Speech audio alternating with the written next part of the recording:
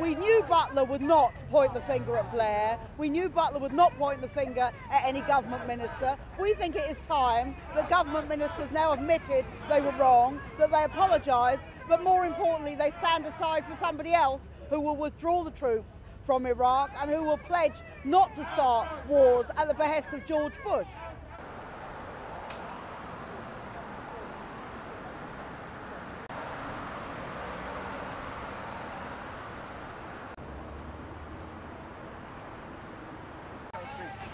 The barriers to try and stop you from doing it.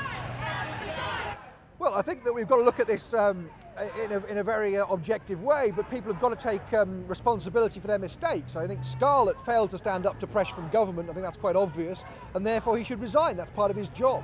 Blair should resign for exaggerating the case for going to war and for not questioning two pieces of intelligence that appeared after the first draft of the September dossier had been produced. And it's quite clear that other heads of the intelligence service on the JIC signed off that document without knowing what they were signing off. Well, the thing is, they, the thing about Scarlett, they're getting such a double, negative. Sorry, go ahead.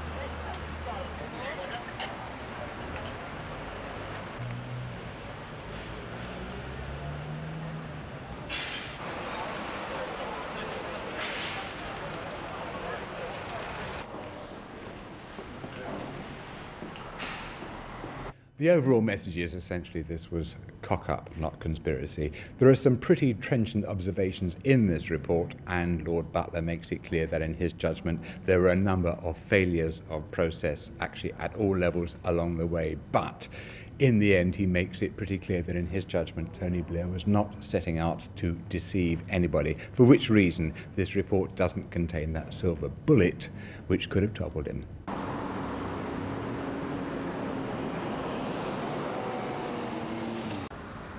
decision?